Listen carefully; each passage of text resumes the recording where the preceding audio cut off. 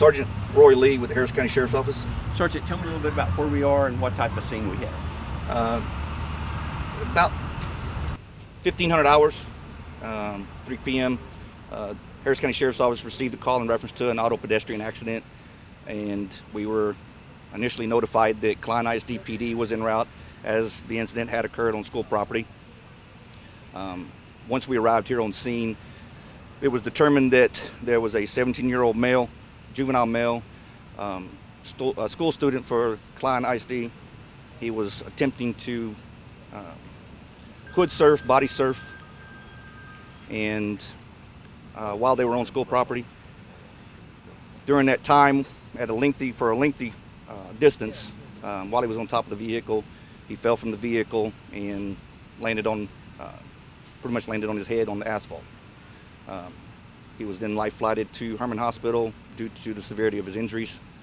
So the uh, captain with the Klein ISD PD um, contacted uh, Klein ISD and they requested Harris County Sheriff's Office to come out and conduct the investigation due to the severity of the injuries. Now, he was not a student at this school, school but a student at Klein Oak right behind here. To my knowledge, he was 17 years of age and he's a student at Klein Oak High School, which is in a neighboring school. Who was driving the vehicle? From what we're understanding, that it was the vehicle was being driven by a friend of his or an acquaintance um, while he was on top of the vehicle. Do we have approximate age of, of that particular driver? I believe he's 17 years of age as well. Okay, so they were both. Uh, Both of them 17 juveniles. do you have an update on his condition? Uh, at this time, we just know that um, he's in critical condition at Hermann Hospital.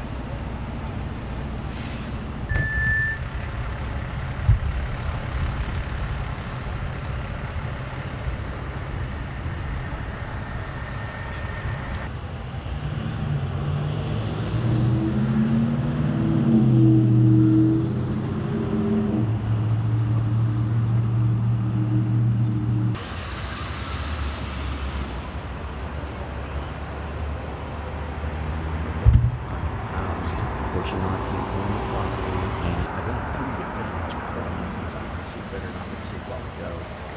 And, uh, we did get the laptop over. So I, I have, I have no information on it.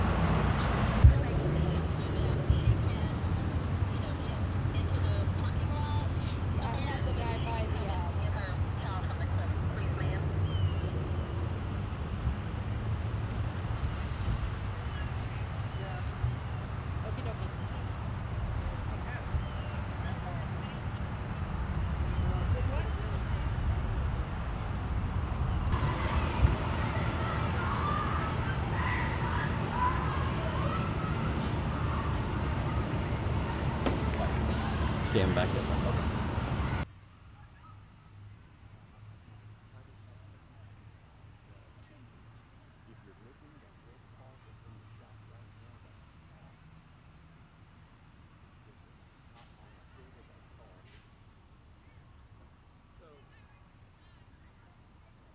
Speed busted, and they didn't get all of it. Can we dub it down some way? Yeah.